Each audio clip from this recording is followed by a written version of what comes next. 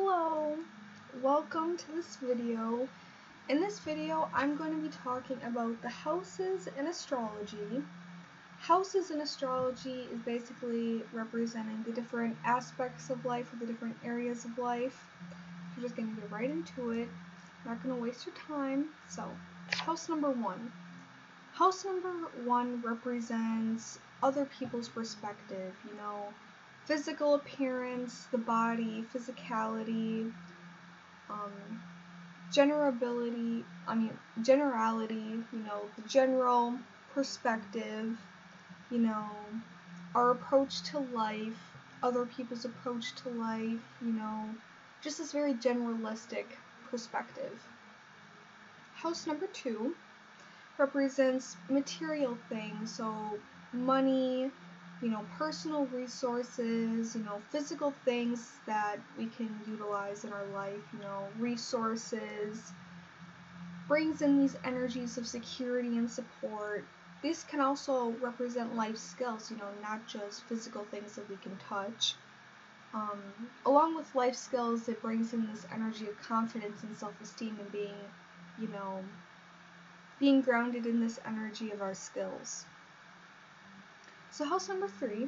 House number three has to do with communication with the world, communication with others, communication with our community, our our immediate community, you know, so people in our family, our friends, you know, the people that we see every day. Communication, just interactions and energies of that sort. House number four has to do with the home, you know, the roots, comfort, you know, this very safe and cozy energy, um, stability energy, you know, where we go when we're not out and about, you know. The house number four can also represent our future homes and our future living spaces. House number five has to do with joy and pleasure, creativity, you know, this childlike wonder essence, you know, it's very it's very freeing energy that house number five brings. House number six is is your way of help, you know, how you're serving the world with your gifts, how you're being of service. House number six also has to do with health, and exercise and how you show up physically in this reality. House number seven has to do with dependencies, habits, relationships, um, intimate nuances, you know, interactions with loved ones. It's a very, um, very personal relationships.